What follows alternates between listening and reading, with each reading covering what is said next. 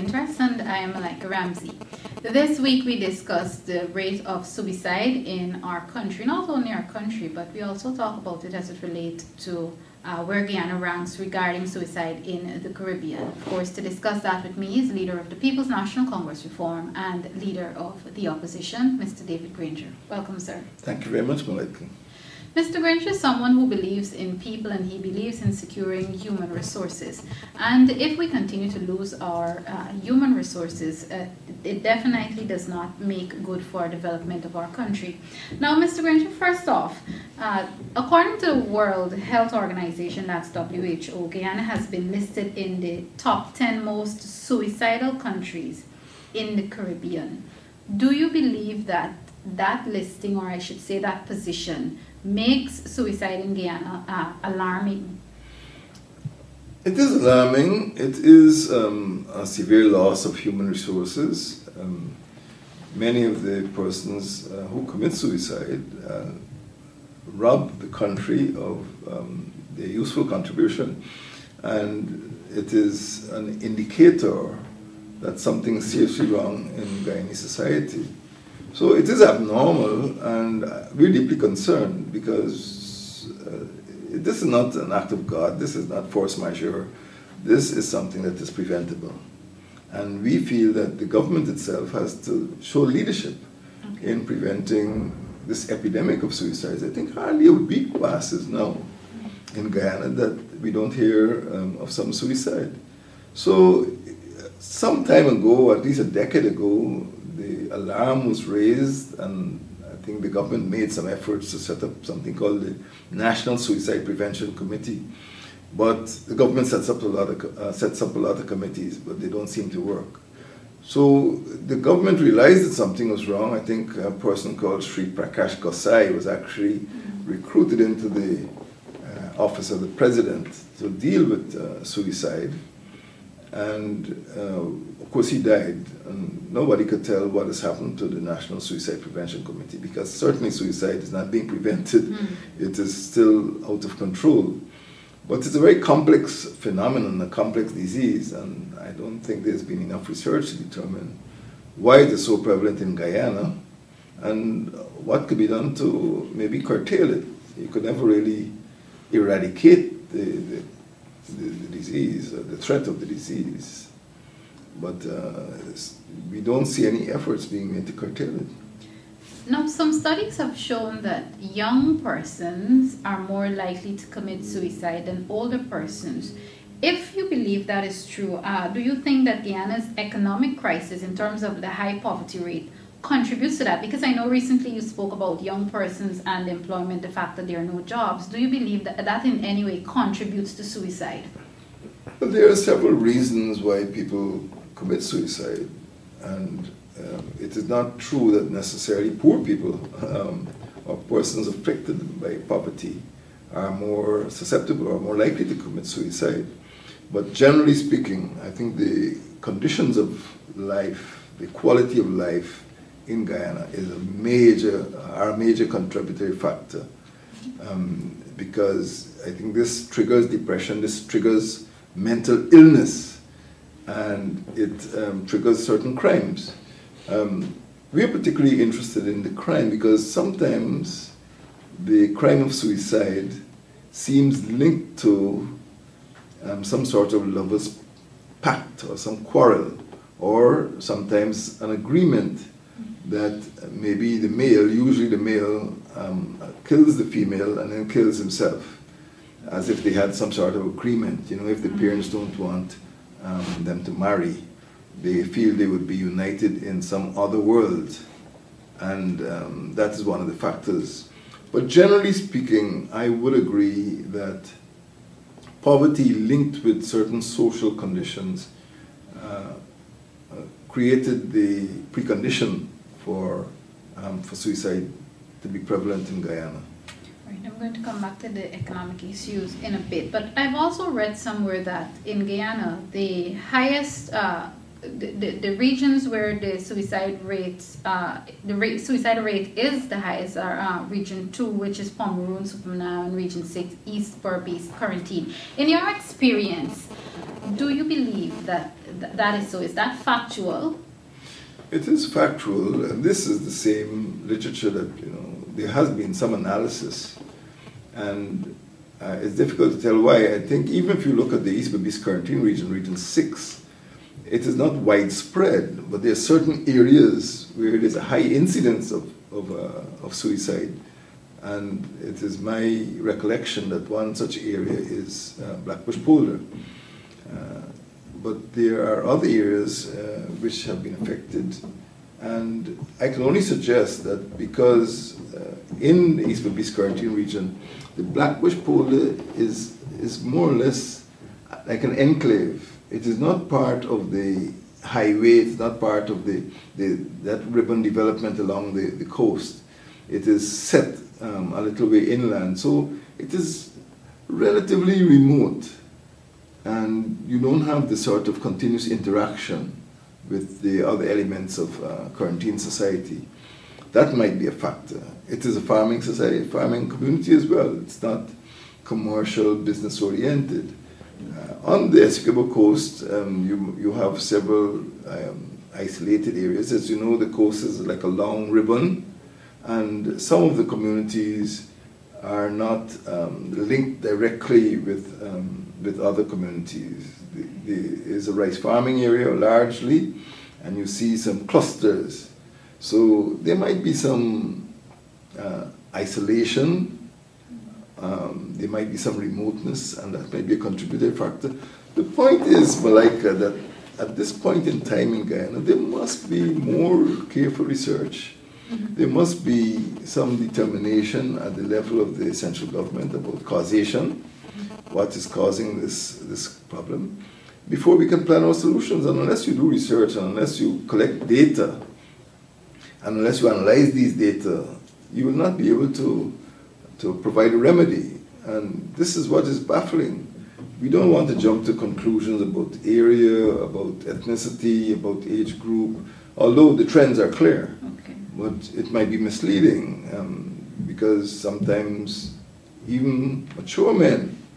Might be in debt. And uh, I know that in other countries, people who fall into debt uh, because of, uh, you know, they took loans for agriculture and other purposes, and if they have a failed crop, it means they can't repay the loans and they, they would kill themselves. And some of those uh, deaths in Guyana are the result of indebtedness. So um, we need to look at causation, and I think the government is best placed to revive the work of the National Suicide Prevention Committee, but employ researchers who could, of course, you can't um, interview somebody who's committed suicide, um, but you can interview people who have been, um, who have attempted to commit suicide and who have been prevented from committing suicide. And also you can analyze data um, where some suicides were faked. Some persons were killed and um, some arrangements were made to create the impression that they actually commit suicide when it was in murder. You know, you see a man hanging, you say, oh, he hung himself, but when you examine what happened, you know, you discover that he couldn't possibly have hung himself, that somebody hung his body and put it there. As, as far as you know, and you spoke about the committee a minute ago, and you spoke about it in, in a response, a previous response, the, the committee that government would have set up. As far as you know, what would have probably been some of the causes for the collapse of that, and uh, can we can it be resuscitated? How easily would it be for that to be resuscitated? My recollection is that a large proportion of the membership of that committee was uh, taken from the government. Uh, ministries. Okay. And I think it's always a danger because um, the government officials are busy, and secondly, they're not impartial. Mm-hmm. So it is uh, a double loss. Because they're busy, the meetings tend to be infrequent, and because they're not uh, impartial, the, the, the outcome or the deliberations tend to be biased one way or the other. So we are at a situation, we're at a position now in Guyana in which we have not been doing enough. The government has not been doing enough to eradicate this, this, this scourge of um, suicide. And um, it is something that calls for academics, it calls for sociologists, it calls for maybe medical practitioners, um, psychiatrists who could analyze the phenomenon and recommend solutions. But that hasn't happened. I'm happy you mentioned psychiatrists and sociologists. And uh, we spoke about young persons probably uh, committing suicide, linking it to the economic uh, issues that we currently face. But I'm asking this in your opinion, what makes a 13, 14, 15, or 16 year old commit suicide? And I'm asking too because the, I think the most recent case of suicide in Guyana is that of a 16 year old Sunil Diaram uh, in, in August month uh, from Region 6, incidentally. What makes a, a, teen or even a person, an adolescent, younger than a teen, commit suicide? Well, you're asking me the question we should ask. We can ask a researcher. Okay because, um, as I said, once a person's committed suicide, you can't interview that person anymore. But the family may give um, some indication whether the person was depressed. Uh, we know from our reading that uh, sometimes a child may fail exams or that child may feel he or she is disappointed um, parents and therefore may commit suicide. There's so many motives. Um, in, in one case, you know, a, a, jealous husband may kill his wife and commit suicide. Um, in another case, a child might, um, for example, there was once a case of a child attending the charity secondary school, uh, probably a child of indigenous um, heritage or indigenous descent, um, who came out from the river and was living at charity and committed suicide. And um, it may be because of some domestic problem at home. It may be because of unfulfilled ambitions. It may be because he or she is facing a situation and, uh, to which they see no resolution. There's no way of resolving this conflict. And that is why it is very likely that we may have to examine what I would say is mental illness. Um, because the person may just have completely different way of resolving contradictions. For example, people want to live. Normally, people want to live and mm-hmm. have a good life, have a good time. So it is completely the opposite when you want not to live. Mm-hmm. and, um, and you sometimes the suicidal person undergoes tremendous suffering because when we make jokes about drinking these uh, uh, um, poisonous insect, these insecticides and so on. The deaths could be har very harrowing because people do not die instantaneously. They take a long time to die and they undergo tremendous pain and suffering. So, what would make a person uh, undergo that pain um, when, of course, it's pleasurable to live? And that is the type of question that we have to ask because that person now has a different logic, a different way of saying, look, it is better for me to suffer, uh, or maybe the suffering that I will undergo in ending my life is less severe than the suffering I will undergo if I remain alive. So we do not know the answers, but I think Dr. Frank Beckles, who perhaps is one of the best known psychiatrists in this country, has done studies. Um, there was a landmark study, I think, um, several years ago, and maybe that could be the, the, the springboard to other forms of research. You did mention the, the, the insecticides, the, the use of it, and I'm happy that you did that because I, the family and medical education specialist Dr. Joan Liverpool, who recently visited Guyana, uh, she did some research and she also discovered that one of the problems that we face is that it's very easy for persons to access these uh, poisonous substances, like as you said earlier, like the insecticides. Can we can we stop that? Do you feel that uh, uh, maybe a public education campaign could probably help with that, or or do you believe that if someone wants to commit suicide, there is no stopping them? Well, you're quite right because there's so many various means um, people can use. Um, maybe in farming areas it is easy to get access to herbicides and pesticides. And that is why it's frequent, frequently used because it's in a bottle there on the shelf and you pick it up and drink it. But in other circumstances, um, people can jump off a bridge. Um, people drown themselves. This has happened in, in countries all around the world. You can throw yourself under a car, um, and you could maybe, you know, like some Japanese uh, samurai warrior, you can, you know, decut yourself. But there's so many means. You can get a, a pistol or put it to your head and, squeeze the trigger. So there are many means for a determined person to end his or her life. And uh, simply by, you know, making access to, to chemicals more difficult would not put an end to the efforts of a determined suicidal person. So I would say that um, we need to go beyond the actual means people use Okay. and look at the motive that people have and try to remove the motivation. For example, as I said, you know, it could be that uh, there is some social factor which um, convinces people that they should uh, get out of this world. That's one social factor could be extreme poverty, one could be indebtedness, one could be marital breakdown. And it is quite uh, surprising, or maybe it shouldn't be surprising, the number of suicides that occur within the household um, in the sense that people reacting to an incident or a situation within the household. For example, in Mahaica, um, in August, I think, this year, we had a situation in which a husband literally battered, hammered his wife to death, and then committed suicide. Well, he's a criminal. He's a criminal, and uh, if he intended to kill his wife because he felt she was unfaithful, that is one matter. But you know, we obviously have to put his suicide in a, in a class that is different from a student who is frustrated or who is depressed having poor exam results and kills himself. One might be the latter case might be one of of um, I would say mental illness. Um, but in the case of the husband who batters his wife and kills himself, um, it, it might be because the man is just a criminal.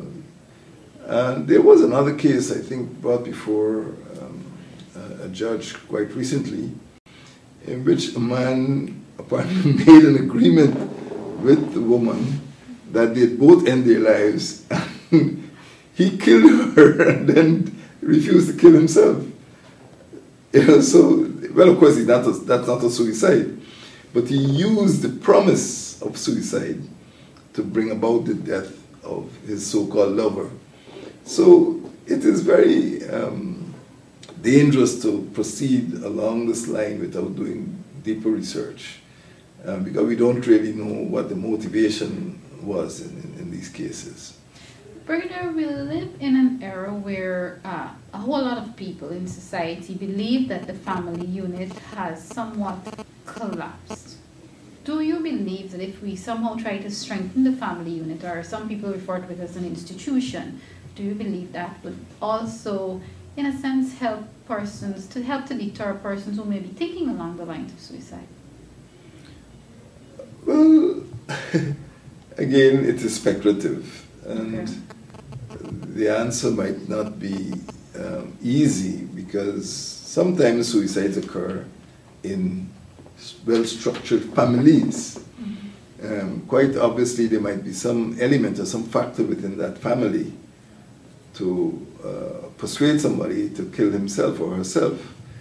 Um, again, there might be a family, but there might be some dispute over property, over um, infidelity, or, or, or there might be some other cause. But the family is there husband, wife, children, you know, there's a home, um, but something goes wrong, and you see the husband burns down the house, stabs the children, tries to kill himself. So it's not one size fits all. Okay. There are lots of motivations, lots of reasons why people kill themselves, but in, in, a, in a, I don't want to use the word good, but in uh, an orderly family, um, vigilant parents or vigilant seniors may detect that um, something is wrong with a sibling or with a child and would be able to say, Oh, what's the problem? I noticed for the last two days you seem very depressed. What are you worried about? Mm. And if the person feels that he or she will get sympathetic counsel, you know, from his sibling or from his parents, he might say, well, mom, it's my exam grades, or mom, I, you know, it's my girlfriend. And if the family is a sympathetic one, um, that person may be told, well, look, um, don't worry about the grades. You know, we know that you, we weren't able to buy you the books or something, but we've gotten some money, we'll buy you the school books. we show your grades are going to be improved. Give them encouragement so that they don't feel depressed.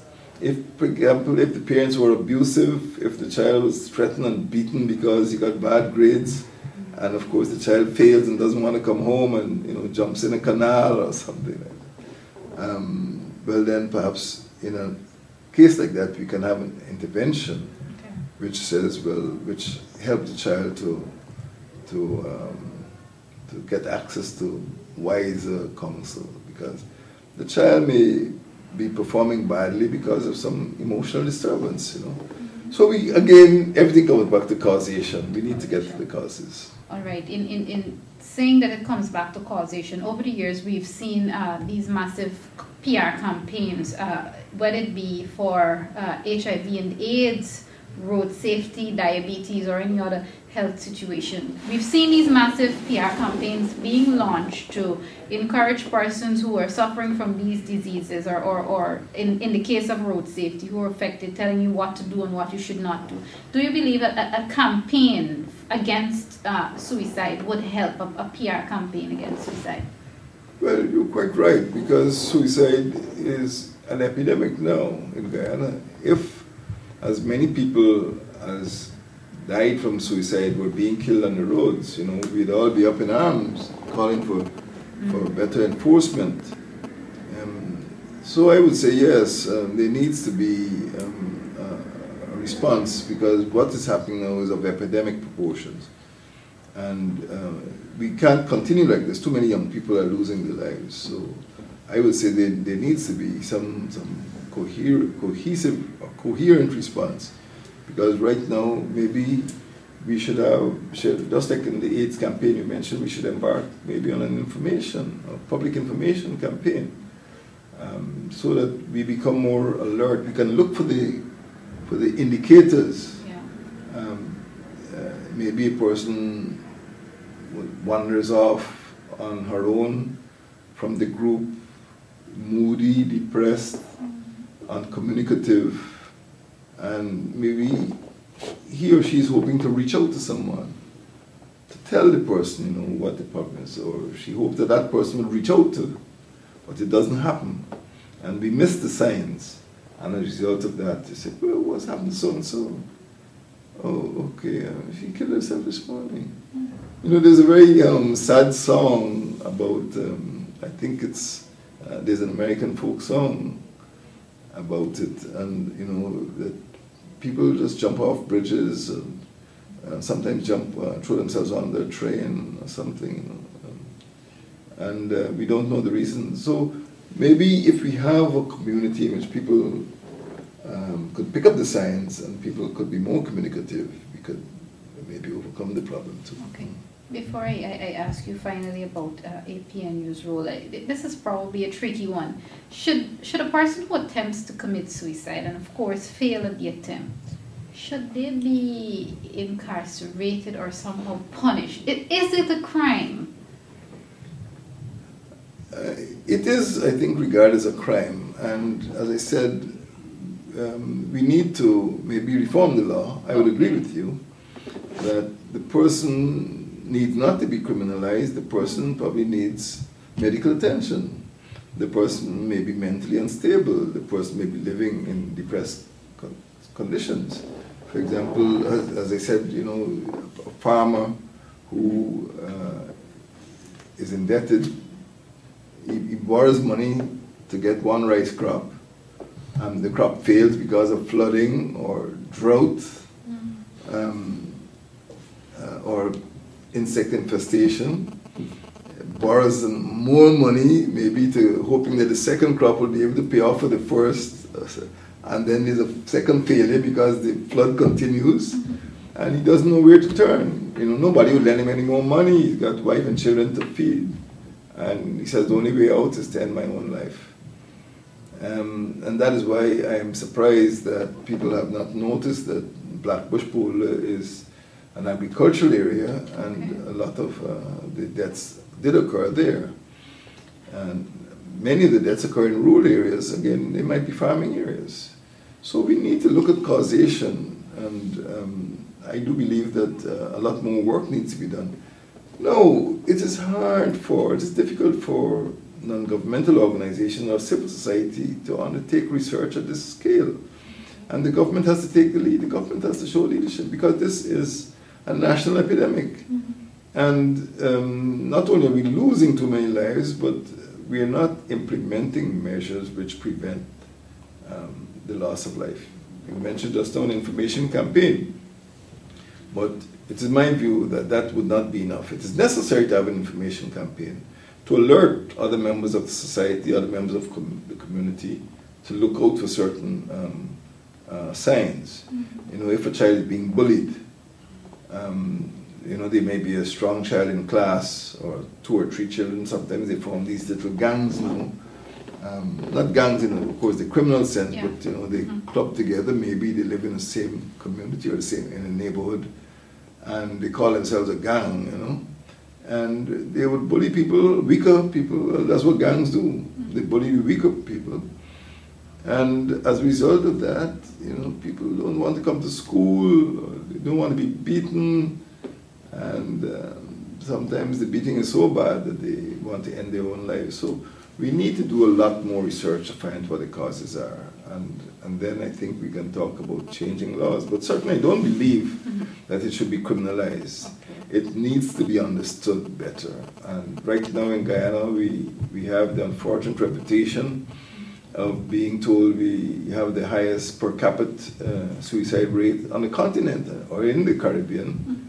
Um, and I do not believe that we are responding to the epidemic the way we should. The government, again, I, I say again, has to show leadership. And uh, changing the laws wouldn't help. Okay. Um, because if you're dead, it doesn't matter if you, you, could, you know, you're guilty or not guilty, you know. Um, we have to look at the motivation, see why people want to end their lives in the first place, you know. So. Finally, in the final moments of this uh, program, sir, I, I know there's a lot on the table regarding uh, APNU's work in the National Assembly. Do can the public expect anything coming from David Granger and the Partnership for National Unity? Probably, maybe regards of a motion to address suicide, or if not that, is there any intention for you to reach out to government to ad- address this issue? We have been very dissatisfied in APNU uh, over the responsiveness of government, the executive branch, to our motions.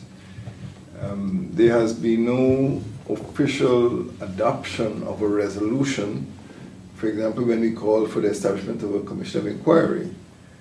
And that is a great disappointment because we are, when uh, something is passed in the National Assembly, when a motion is passed before it becomes a resolution, it is passed by majority, the minority can't pass a, a motion.